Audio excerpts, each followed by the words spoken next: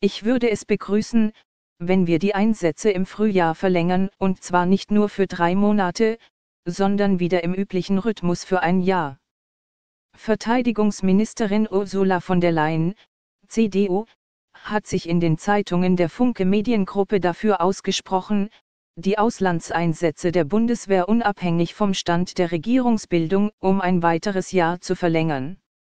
Sie werde in einigen Wochen mit allen Fraktionen des Bundestags darüber sprechen. Die Partner Deutschlands verließen sich darauf, dass die Bundeswehr in diesen Einsätzen weiter zu ihnen stehe. Außerdem bräuchten die Soldaten eine klare Rechtsgrundlage. Der Bundestag hatte wegen der lang andauernden Hängepartie bei der Regierungsbildung diese Woche sieben Auslandseinsätze der Bundeswehr verlängert um jeweils drei Monate. Damit soll außenpolitische Kontinuität hergestellt werden. Die Mandate der Einsätze laufen teils Ende dieses Jahres, teils Ende Januar 2018 aus.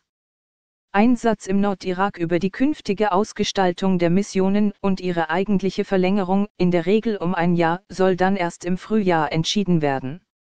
Noch ist ungewiss, ob bis dahin eine neue Regierung steht.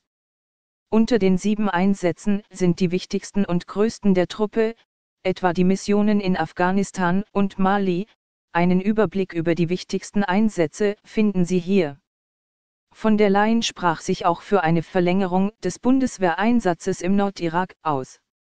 Die Mission sei erfolgreich, sagte sie.